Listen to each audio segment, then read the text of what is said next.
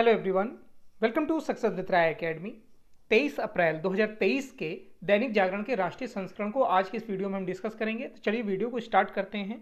और यहाँ पर जो सबसे मेन हेडिंग बनाई गई है न्यूज़पेपर के द्वारा, वो है महिलाओं की भागीदारी से संबंधित न्यूज़ जो कि सैन्य सेवा में अब पुरुषों के बराबर महिलाओं को भी सैन्य भागीदारी का मौका दिया जा रहा है और उनकी पोस्टिंग उसी हिसाब से की जाएगी।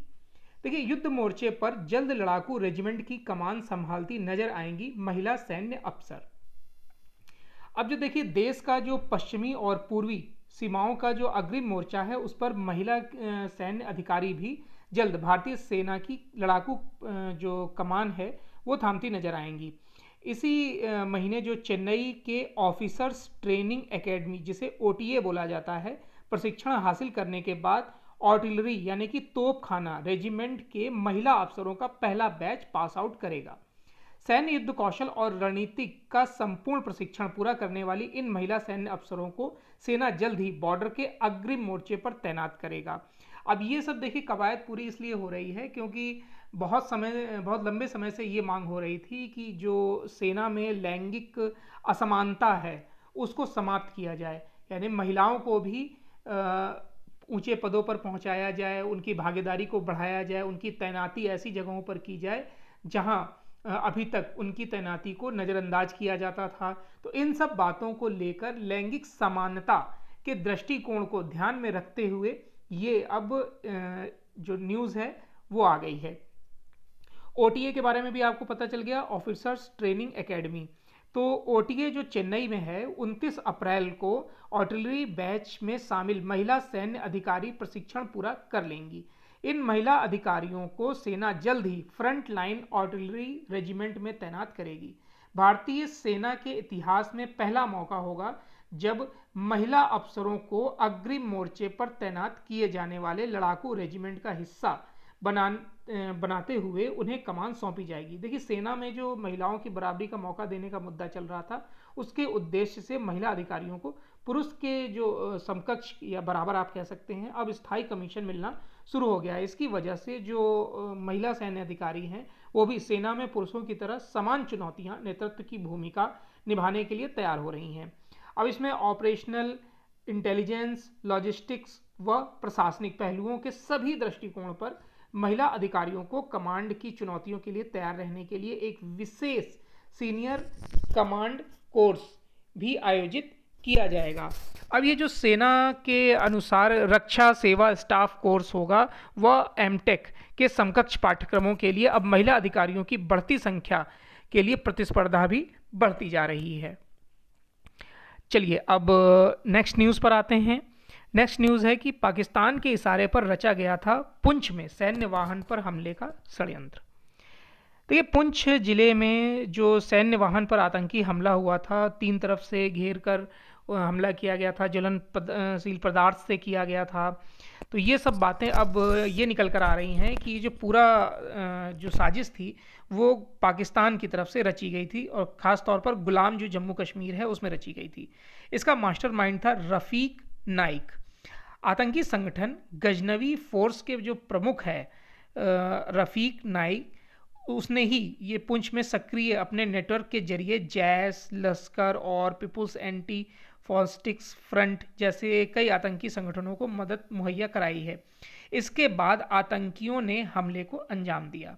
रफ़ीक नाइक पुंछ के नक्का मझाड़ी गाँव का रहने वाला है। रफ़ीक पहले पुंछ और राजौरी ज़िले में सक्रिय था। वर्ष 2006 और 7 के बीच वह सुरक्षा बलों से बचने के लिए सीमा पार कर गुलाम कश्मीर में जाकर चला गया था। चलिए नेक्स्ट न्यूज़ पर आते हैं और नेक्स्ट न्यूज़ है कि चीन से सटे देश के पहले गाँव तक अब 4G सेवाओं को भी उपलब्ध कराया जाएगा। देखिए, अरुणाचल प्रदेश की सीमा जो चीन से लगती है, उसके सीमावर्ती क्षेत्रों में करीब 336 गाँव ऐसे हैं जिनमें जल्द ही 4G मोबाइल, टेलीफोन कनेक्टिविटी शुरू हो जाएगी। चीन सीमा से लगते देश के पहले गाँव तक 4G नेटवर्क की सुविधा सामरिक रूप से बहुत महत्वपूर्ण मानी जा सकती है, खासतौर पर ऐसे दौर में जब चीन के साथ संबंध भारत के अच्छे नहीं चल रहे हैं।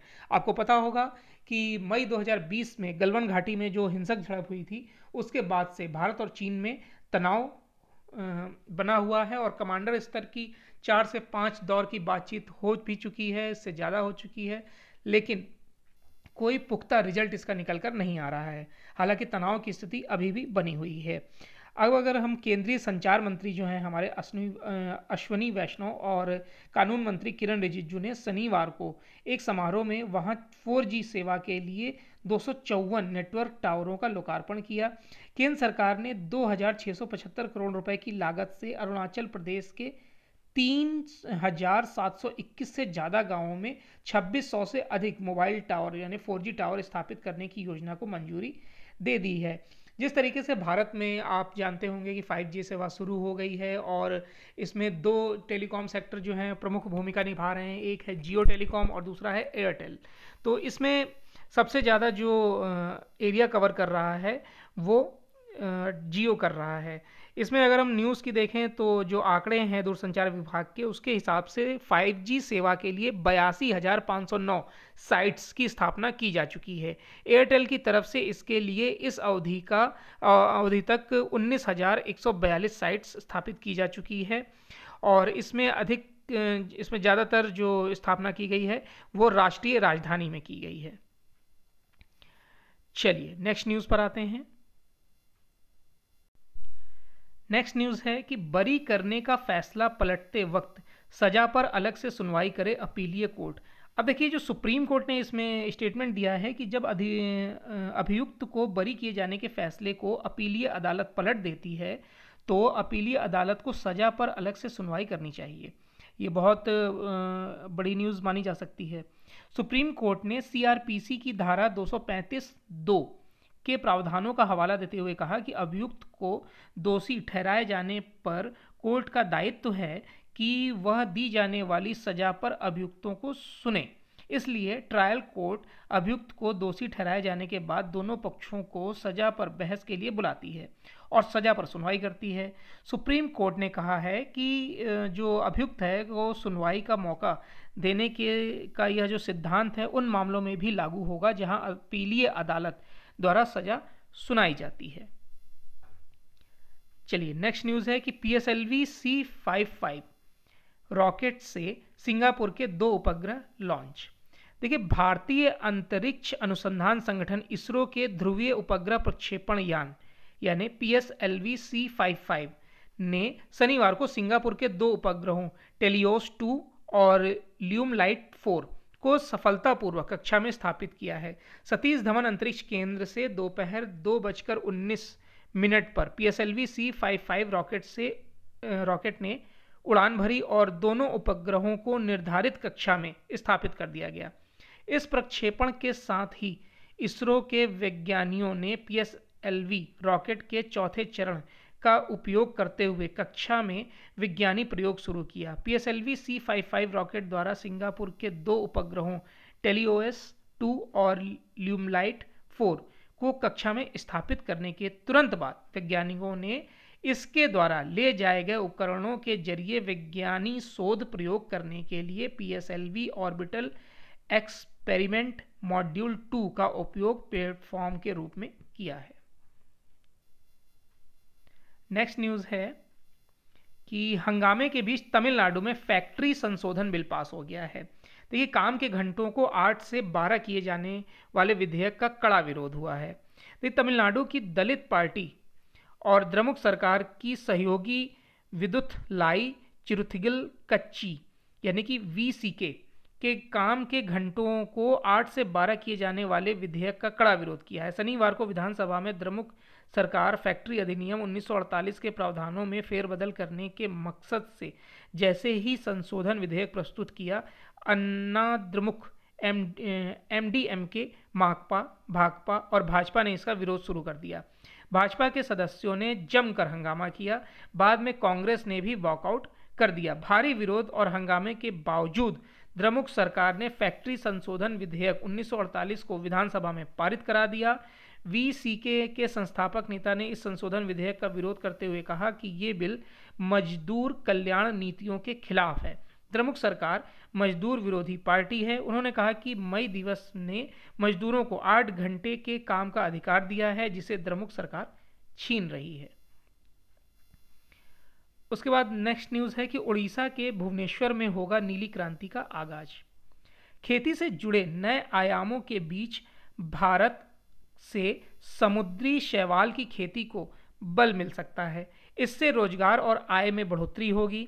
तटीय राज्य उड़ीसा की राजधानी भुवनेश्वर से दैनिक जागरण, कीट विश्वविद्यालय और Bhubaneswar city knowledge innovation cluster foundation मिलकर द ब्लू रेवोल्यूशन की शुरुआत करने वाले हैं। भुवनेश्वर में 28 अप्रैल को एक सम्मेलन का आयोजन होगा, जिसमें नीली क्रांति के शैवाल की खेती को बढ़ावा देने की ज़रूरत और जलवायु परिवर्तन से जूझने की राह पर मंथन होगा। नीली क्रांति में सक्रिय चट्टान के निर्माण को भी बल दिया जाएगा, जिससे चक्रवात जैसे आपदाओं को कम किया जा सकेगा।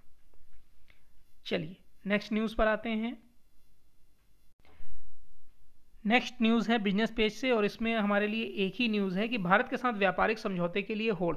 देखिए, भारत की जो स्थिति है व्यापारिक दृष्टिकोण से, वो मज़बूत होती जा रही है। जिस तरीके से भारत कई देशों के साथ, आपने देखा होगा कि एफटीए किया है खासतौर पर, तौर पर ब्रिटेन और यूएई फ्रांस, उसके बाद ऑस्ट्रेलिया, इन सब देशों के साथ जो एफटीए चल रहा है, वो भारत के लिए शुभ संकेत माना जा सकता है। और इसके साथ ही भारत के पड़ोसी देश और अफ्रीका के भी कई देश भारत के साथ व्यापार समझौता करना चाहते हैं। इसमें समझौता तो किया जा सकता है, लेकिन कुछ चुनौतियाँ भी हैं जिनको ध्यान पर रखकर कार्य आगे बढ़ाया जा रहा है। जो हमारे वाणिज्य मंत्री हैं पीयूष गोयल, उन्होंने एक स्टेटमेंट दिया कि भारत के सामने इस समय इतने प्रस्ताव हैं कि जो वित्त मंत्रालय के जो अधिकारी हैं या वाणिज्य मंत्रालय के जो अधिकारी हैं, वो इस टाइम रात रात भर कार्य कर रहे हैं। उन्हें अपने काम के घंटों को बढ़ाना पड़ रहा है। इतना वर्कलोड आ गया है। तो ये कहने का मतलब है कि भारत जो है वो व्यापार के क्षेत्र में मज़बूत स्थिति में बन रहा है। भारतीय बाज़ार के आकार एवं विकास की गति को देखते हुए दुनिया के कई देश भारत के साथ व्यापारिक समझौता करना चाहते हैं। हालाँकि सरकार इस दिशा में कोई जल्दबाजी नहीं करना चाहती है। पहले से ही यूरोपीय यूनियन, ब्रिटेन और कनाडा के साथ व्यापार पर कई दौर की बातचीत हो चुकी है और इस साल तक तीनों के साथ व्यापार समझौते होने की उम्मीद है। साथ ही 20 लाख करोड़ डॉलर से अधिक के बाज़ार में भारतीय वस्तुओं को पहुँचाए बिना शुल्क के या कम शुल्क के साथ आएँगी। इसका फ़ायदा भारत के रोज़गार परक सेक्टर में होने की उम्मीद है। ईयू की अर्थव्यवस्था का आकार सोलह दशमलव छः करोड़ डॉलर, ब्रिटेन का दो दशमलव तेईस लाख करोड़ डॉलर और कनाडा का, कनाडा की अर्थव्यवस्था का आकार दो दशमलव दो लाख करोड़ डॉलर का है। हाल ही में नई विदेश व्यापार नीति की घोषणा के दौरान वाणिज्य और उद्योग मंत्री पीयूष गोयल ने कहा कि हमारे साथ कई देश व्यापार समझौता करना चाहते हैं और इसके लिए बातचीत शुरू करना चाहते हैं। स्थिति ऐसी हो गई है कि वाणिज्य विभाग के अधिकारियों को कई शिफ्ट में काम करना पड़ रहा है। रूस, बांग्लादेश, श्रीलंका, अफ्रीका के कई देश, भूटान, यूएई से सटे कई अन्य देश भारत के साथ व्यापार समझौता करना चाहते हैं। दो दिन पहले Bharat Thailand joint trade committee की सत्रह साल के बाद आमने सामने बैठक हुई और दोनों देशों के बीच व्यापार के लिए नए उत्पादों की पहचान और समुद्री उत्पाद, मांस और पोल्ट्री के व्यापार में आने वाली बाधाओं को दूर करने के लिए सहमति बनी है। नेक्स्ट पेज है इंटरनेशनल पेज इंटरनेशनल पेज पर पहली न्यूज़ है, भारत कैरिकॉम बैठक में व्यापार व आपसी सहयोग बढ़ाने पर चर्चा की की गई है।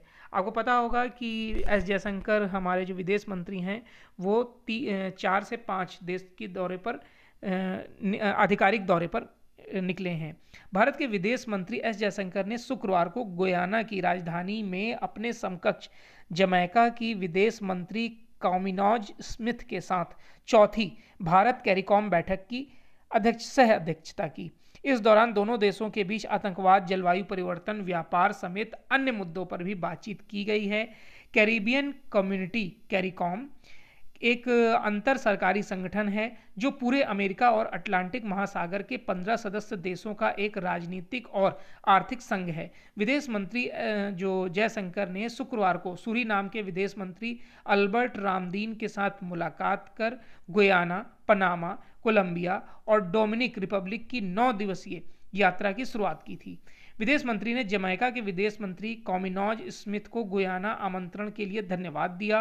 उन्होंने कैरिबियन देशों, Suriname, saint Kitts and Nevis, saint Lucia, saint Vincent and the Grenadines ये सब देश हैं।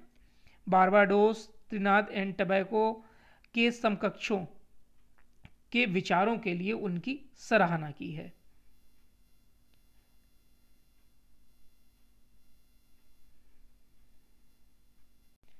नेक्स्ट न्यूज़ है। अमेरिका इस वर्ष 10 लाख भारतीयों को देगा वीज़ा। तो ये काफ़ी समय से अमेरिका वीज़ा का इंतज़ार कर रहे हैं, भारतीयों को जल्द वीज़ा मिल सकता है या मिलेगा। इस वर्ष 10 लाख भारतीयों को वीज़ा जारी किया जा सकता है। वीज़ा के कार्य में प्राथमिकता के आधार पर तेज़ी लाई जा रही है। यह जानकारी अमेरिका के दक्षिण मध्य एशिया के सहायक विदेश मंत्री डोनाल्ड लू ने दी है। उन्होंने कहा कि भारतीयों को वीज़ा दिए जाने के कार्य को तेज कर दिया गया है। इनमें एच वन बी और एल वीज़ा शामिल है, जो भारत के आईटी पेशेवरों की सबसे अधिक मांग में शामिल है। एच वन बी वीज़ा एक गैर अप्रवासी वीज़ा है जो अमेरिकी तकनीकी कंपनियों को अपने यहाँ विदेशी कर्मचारियों की नियुक्ति की अनुमति देता है। इसके साथ ही अमेरिका में पढ़ाई करने वाले किए जाने वाले छात्रों में भारत दुनिया में दूसरे नंबर पर है। लू ने कहा कि अमेरिकी प्रशासन इन गर्मियों में कॉलेज शुरू होने से पूर्व वीज़ा जारी करने के लिए प्रतिबद्ध है। सूडान से जल्द घर लौट सकेंगे दूसरे देश के नागरिक। देखिए सूडान में छिड़े जो गृह युद्ध है उसके बीच सूडानी सेना दू, दूसरे देश के नागरिकों की सुरक्षा निकासी के लिए तैयार हो गई है। सेना प्रमुख अब्दुल फतेह अल बुरहान का यह बयान आर एस एफ़ प्रमुख मोहम्मद हमदान दौगोला उर्फ़ हेमेदती के संघर्ष विराम के आश्वासन के बाद आया है। सेना और आर एस एफ़ ने संयुक्त रूप से ईद पर शुक्रवार से तीन दिन का संघर्ष विराम का ऐलान किया है। संघर्ष विराम के दौरान विदेशी नागरिकों की सुरक्षित निकासी के लिए हवाई अड्डों को खोला जा सकेगा। सूडान की सेना की ओर से शनिवार को कहा गया कि अमेरिका समेत अन्य देश आगामी कुछ घंटों में अपने नागरिकों को खारतूम में सुरक्षित बाहर निकाल लेंगे। सेना ने बताया कि सऊदी अरब के नागरिकों को पोर्ट सूडान की ओर से पहले ही बाहर निकाला जा चुका है। तो ये आज का 23 अप्रैल 2023 का दैनिक जागरण का राष्ट्रीय संस्करण था। आई होप आपको वीडियो अच्छा लगा होगा। अगर वीडियो अच्छा लगा हो तो लाइक और शेयर कर दीजिएगा। वीडियो देखने के लिए धन्यवाद।